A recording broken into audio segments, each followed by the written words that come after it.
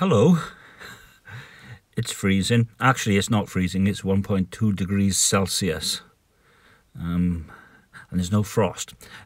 This is the first mini Beano of 2019. It's the 5th of September.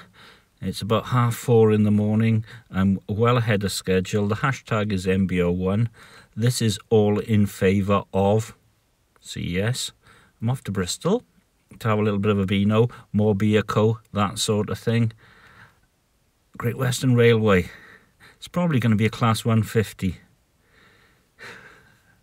Progress. Progress doesn't always happen, does it? Anyway, um, so apart from Moor Beer, various pubs in Bristol, tap houses, spoons, Costa Coffee, and staying in the Ibis.